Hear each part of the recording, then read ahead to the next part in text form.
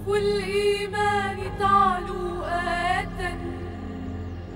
في دجى الأزمان ضوءا يتوقد صحف الإيمان تروي قصصا. معجزات منذ نوح لمحمد. فأصابوا سلتي هش بها وهوى. المفند وحمى لوط وقوما ظلموا وسليمان على الأرض تسيد قصصا تبعث فينا حكمة تشرح القلب بنور ليس ينفد تشرح القلب بنور ليس ينفد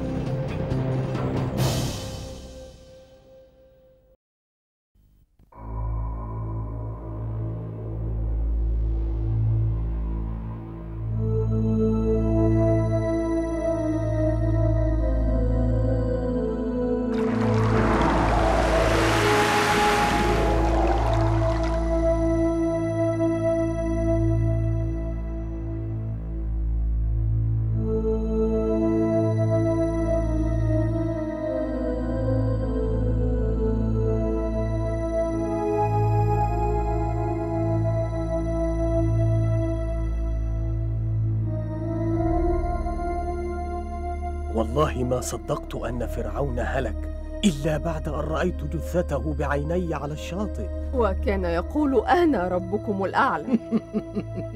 من كان يصدق أن هذا الجبار يموت؟ لقد أخرج الله جسده الميت إليكم ليكون للمتشككين دليلا.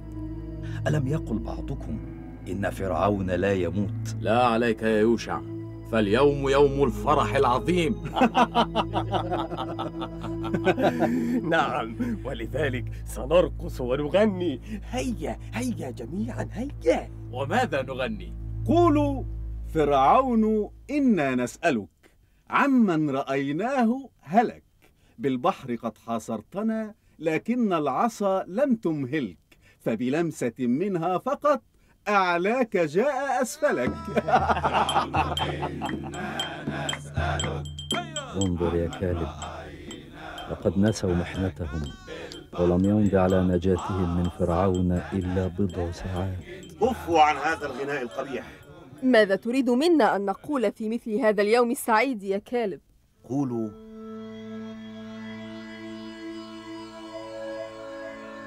رباه إنا نشكرك.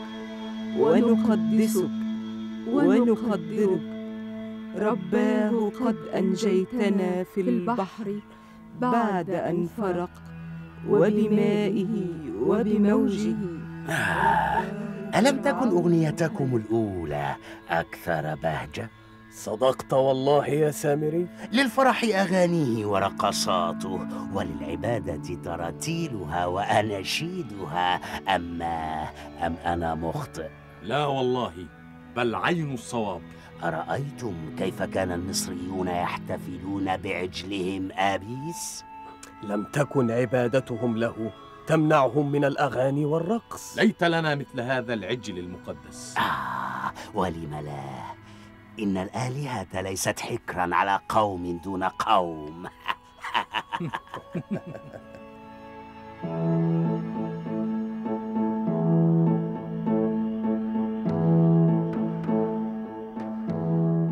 يكاد الطفل يهلك عطشا.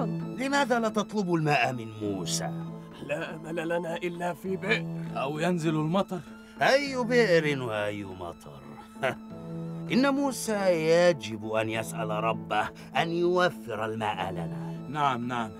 لابد أن يوفر الماء لنا. أين هارون؟ أين موسى؟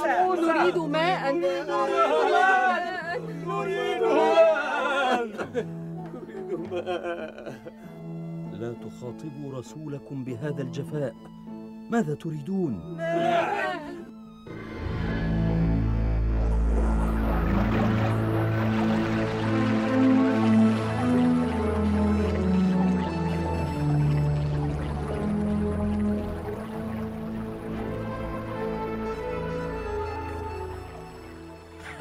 ألم أقل لكم إن عصاه السحرية تفعل كل شيء.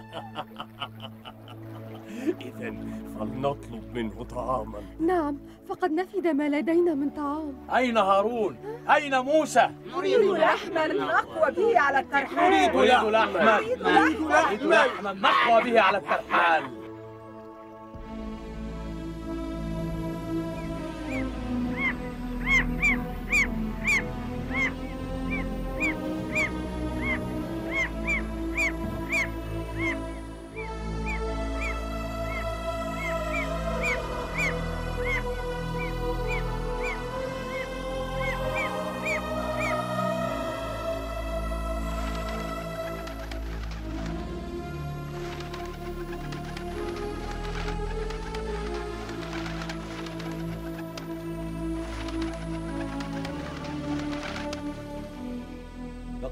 أنزل الله عليكم المن والسلوى. فكلوا واشربوا من رزق الله. كلوا على قدر حاجتكم ولا تدخروا شيئا. هكذا أمر نبي الله موسى. أحسنوا ظنكم بالله. سيرزقكم من حيث لا تعلمون. ماذا تفعلين يا امرأة؟ لقد ادخرت بالأمس بعض اللحم ففسد. ألا يكفيك كل هذا الطير؟ ومن يضمن لي أن أجده غدا؟ امرأتك أكثر ذكاء منك. دعها تدخر اللحم رجل. فمن يضمن لها ألا تذهب هذه الطيور فجأة كما جاءت فجأة.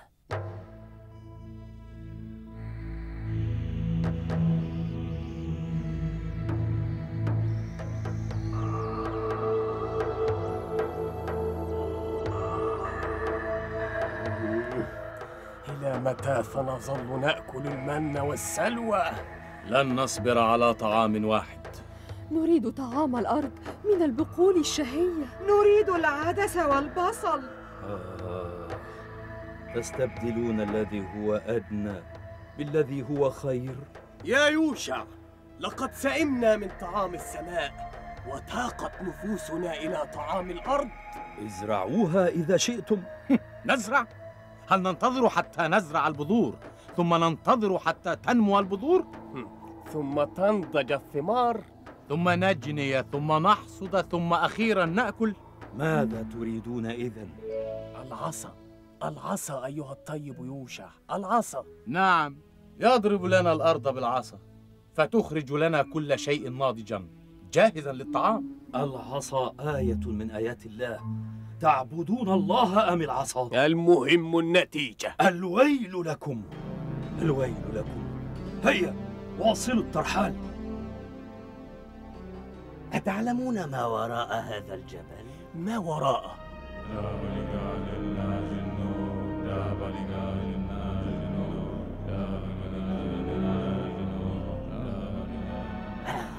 هل رأيتم أفضل من هذا؟ هذا ما نحتاجه فعلا. الأمر سهل. كيف؟ نطلب من موسى أن يجعل لنا إلها نعبده مثل ما لهؤلاء القوم آلهة. وهل يقبل؟ لابد أن يقبل. أي جهل أنتم غارقون فيه؟ إن هؤلاء يعبدون أصناما. هل تتركون عبادة الله الذي الذي نجانا من فرعون والذي أطعمنا وسقانا ألا تسأمون من ترديد هذا القول لنا؟ ثم إننا لا نعرف على وجه التحديد ما هو المطلوب منا أن تؤمنوا بالله ولا تشركوا به شيئا آمنا ها ماذا بعد؟ أتريدون مقابلا لإيمانكم؟ يا رجل إن لكل بضاعة ثمنا وإيماننا هو بضاعتنا فلماذا لا نتقاضى عنها ثمنا؟ وما ثمن بضاعتكم؟ الطرف النعيم ملذات الحياة. نعم فما دام الله قد اختارنا نحن بالذات للإيمان به فلا بد أن يدفع لنا ثمن هذا الإيمان. نريد أن يضمن لنا الجنة في الآخرة. يا غبي أمر الدنيا أولا. نريد نريد دينا خفيف التكاليف. لا يحرم علينا المتعة والطرف. آه، عين الصواب. فليس هناك إله بلا عباد يقدسونه ويبجلونه ويقدمون له القرابين. قدوس قدوس قدوس قدوس قدوس قدوس ماذا يفعلون؟ موسى ذاهب للقاء ربه. لقد أمر موسى أخاه هارون أن يخلفه فينا حتى يعود. أما كان أحدكم أجدر بهذا من هارون؟ وواعدنا موسى ثلاثين ليلة وأتممناها بعشر. فتم ميقات ربه أربعين ليلة.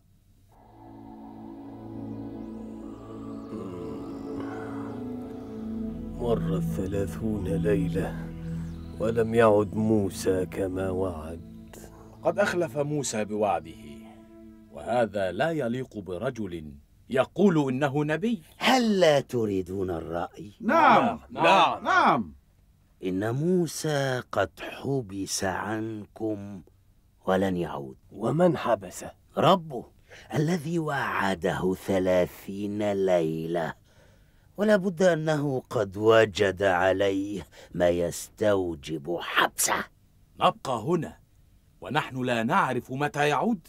أم أنا عندي رأي. أفصح عنه أصنع لكم إلها تعبدونه. ماذا؟ إله حقا. هل هل تشكون في كفاءتي؟ لا ولكن كيف؟ ها من الذهب. أي ذهب؟ الذي جمعتموه من أهل مصر وهربتم به. وما شأنك به؟ يا أغبياء إن الله قد هيأ لكم هذا الذهب لسبب محدد. أي سبب؟ أن نصنع منه إلها. أما أم تراكم كنتم تظنون أن إله الشعب المختار مثلكم سوف يصنع من الحجارة أو الخشب؟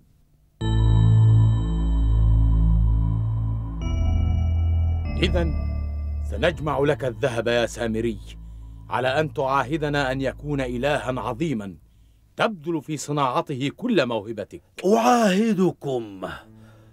سأعتكف وراء هذا التل ثلاثة أيام فقط.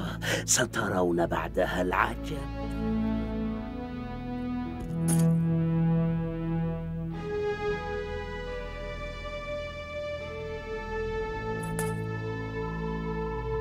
سامري إياك والخديعة. المؤمنون لا يعرفون الخديعة. ضع ذهبك في الصندوق يا رجل. هذه كمية من الذهب تكفي لكي تكون ذراعا كاملا في جسد الإله المنتظر. لقد وعدتنا أن يكون إلها فخما. فلا تتراجع عن وعدك. سأبذل أفضل ما في تاريخي الطويل من خبرة. ضع ذهبك. ضع. لقد أخذت هذا الذهب من امرأة عنوة. أريد إلها يستحق ما ألاقيه من متاعب مع امرأتي. سترى. سترى عندما أصنعه. ستعفو عنك امرأتك وستحبه حبا عظيما.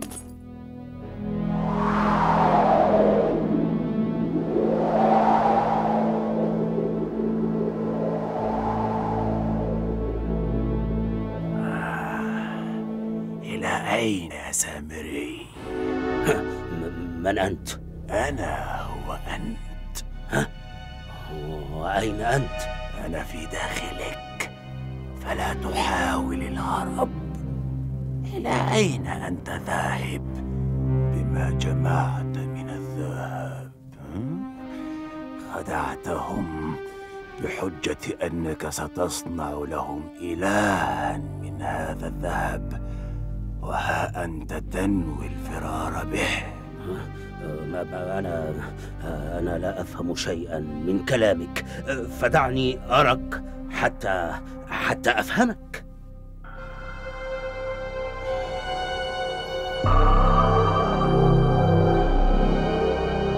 من أنت؟ ومن أين جئت؟ من هنا من داخلك. لكني سأكون أكثر رحمة بك من نفسك. كيف؟ سأعاونك. أنا لا أفهم شيئا. سأصنع لك الإله الذي وعدت به قومك. أنا أنا لا أصدقك. ستصدقني عندما تراه. هات الذهب تريد أن تسرقه مني بحيلة مكشوفة. يا سامري أنا لست بحاجة إلى أن أسرق منك. فدعنا نتعاون. لا لن أعطيك الذهب بل ستعطيني الذهب وستعطيني أيضا قبضة التراب التي قبضتها من أثر حافر فرس جبريل يوم أن فرق لكم موسى البحر بعصاه؟ وكيف عرفت هذا؟ إن أحدا لم يرني وأنا أفعل هذا ألم أقل لك إني بداخلك أرحل معك وأستقر معك فلماذا لا تعطيني الفرصة لأساعدك؟ ها؟ لا بأس. سأجربك. ها هو الذهب. والآن ألق عليه بقبضة التراب التي معك.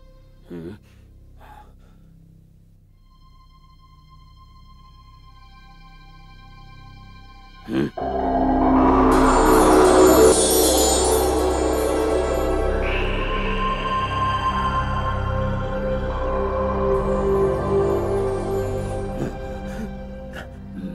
هذا؟ هذا إله بني إسرائيل الجديد إنه إنه عجل جميل ولكن هل هل في إمكانك أن تجعله إلها أكثر إقناعا؟ طبعا انظر.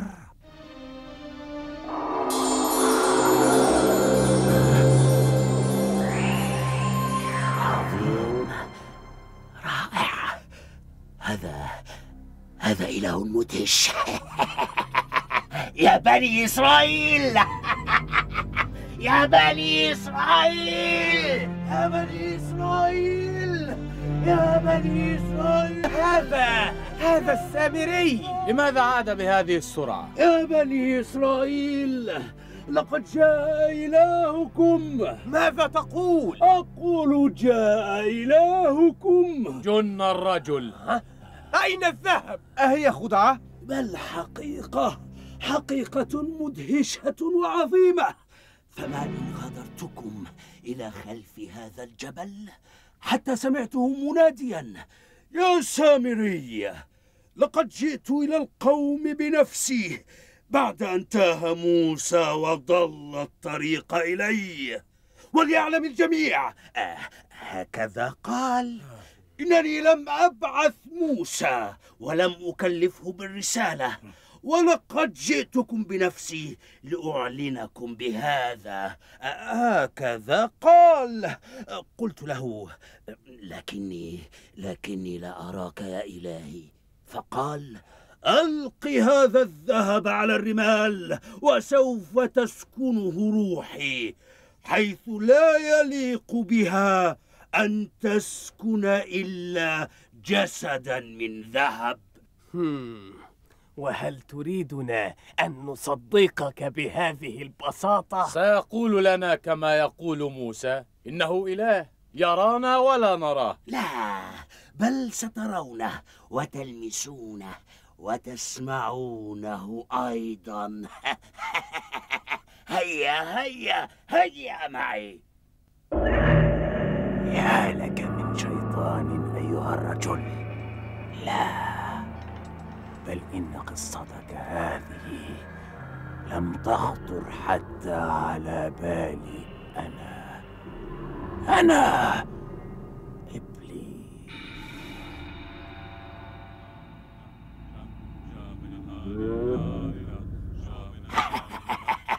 والآن هل خدعتكم؟ لا والله. لا والله ما خدعتنا إنه فعلا فعلا إله من ذهب. إله جميل. و وبماذا بماذا يكلفنا إلهنا الجديد يا سامري بالمتعة بالرقص بالغناء. يا له من إله واسع الأفق. نعم. لقد عرف ما نريده بالضبط. ولم لا؟ أليس إلها؟ سنقيم له احتفالات وأعيادا كثيرة كما كان يفعل آل فرعون. ونقدم له القرابين. هذا إله غير آلهة آل فرعون؟ لا يقبل القرابين من الطيور والفاكهة والحبوب. وماذا يقبل؟ إنه إنه إله من ذهب ثم إنه إله متفهم لا يثقل عليكم بالتكاليف. و... ولكل هذا مقابل. نقدم له القرابين من الحسان الجميلات. لا لا ولا هذا أيضا. إنه إنه لن يقبل إلا مثله. ت- تقصد ذهبا؟ سندفع. نعم سندفع. نعم سندفع لكن لمن ندفع؟ له شخصيا فإذا سمعتم صوته ضعوا الذهب في فمه. ماذا تفعلون أيها التعساء؟ التعيس هو الذي ينظر ولا يصدق. يصدق ماذا أيها الغبي؟ يصدق ما يراه وما يسمعه. ويحكم هذا مجرد صنم من ذهب. ألا ترون أنه لا يكلمكم؟ ولا يهديكم سبيلا؟ بل يكلمنا ها يكلمنا ألا تسمع؟ أليس هذا كلام يا سامري؟ دعك منهم هيا هيا واصلوا العبادة بسم الله الرحمن الرحيم واتخذ قوم موسى من بعده من حليهم عجلا جسدا له خوار ألم يروا أنه لا يكلمهم ولا يهديهم سبيلا؟ اتخذوه وكانوا ظالمين. صدق الله العظيم.